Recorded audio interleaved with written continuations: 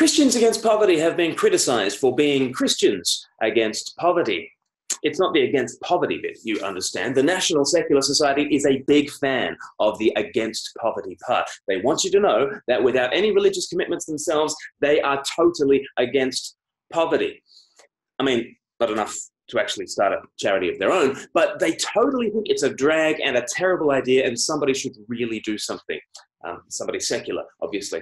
Um, well, somebody secular did a report on CAP, Christians Against Poverty, and they released the findings last week. The London School of Economics calculated the benefit of CAP's work to society at £31.5 million a year.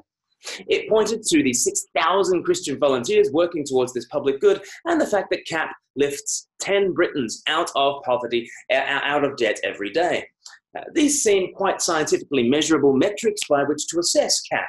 Uh, but the National Secular Society didn't really cite facts. Instead, it just complained that it was Christians doing all of this. Christians who actually talk about their Christianity as though spiritual values might have something to say to the problem of materialism.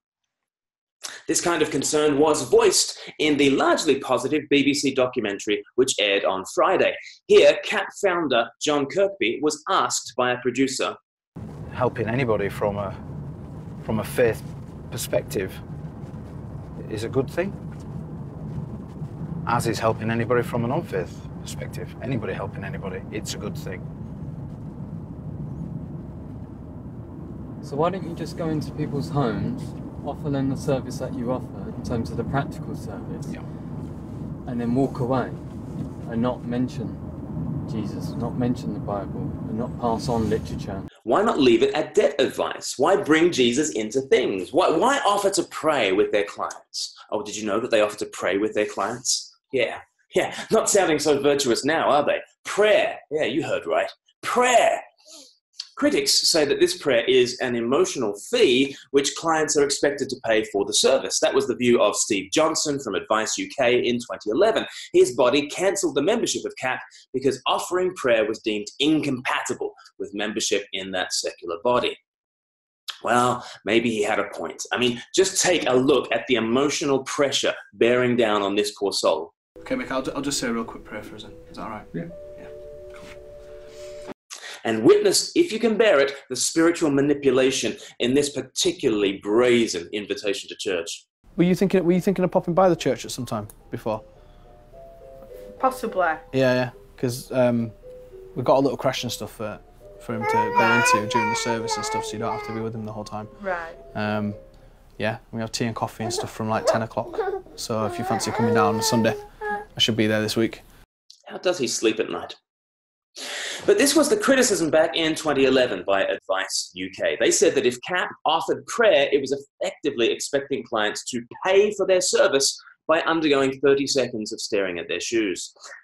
No, says Steve Johnson, advisors must not offer or impose their values. Now, that's an interesting word to use as we consider debt, don't you think? Values. Debt surely is about getting our values wrong. Maybe we value stuff too much, or we value the wrong things, or maybe we value present expenditure over future happiness. Debt is a problem of value. So if debt counseling is not bringing a different value structure, it's not going to help. Let's imagine you seek to advise someone in debt and you have a purely scientific mindset. You're going to be completely secular and bring no spiritual values to bear on things. Imagine you are Lawrence Krauss. Here's your worldview. The picture that science presents to us is, is in some sense, uh, uncomfortable.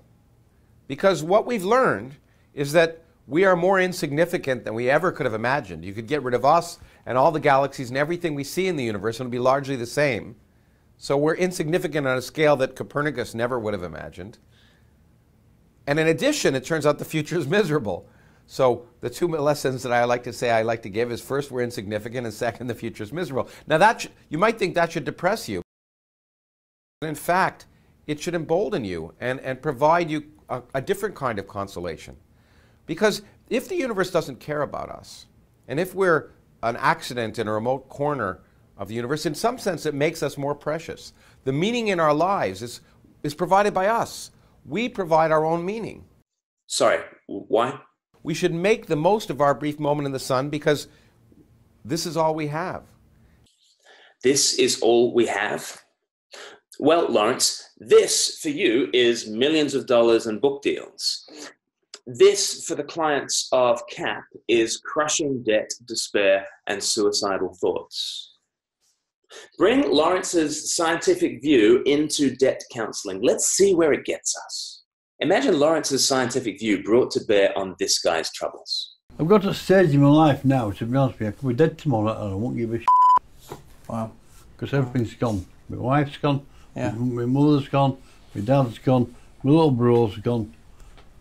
I've not particularly to live for.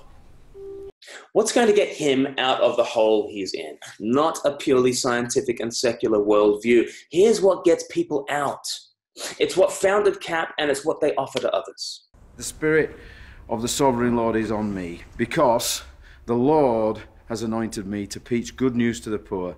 He has sent me to bind up the brokenhearted, to proclaim freedom for the captives, release from darkness for the prisoners, and to proclaim the year of the Lord's favour and the day of vengeance of our God, and to comfort all who mourn. There is a God who steps down from his throne to expend himself for the poor, to liberate us and give us a future. That's how you fight poverty.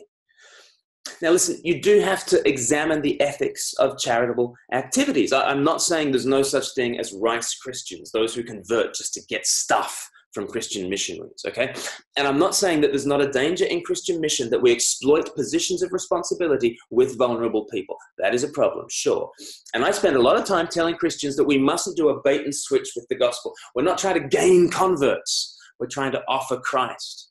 So we're not to lay a breadcrumb trail for people that sneakily leads them to church as though church was this totally separate thing. No, not that. None of that. No breadcrumb evangelism, please. But we do offer bread. We don't give debt counseling so that we can then take your soul.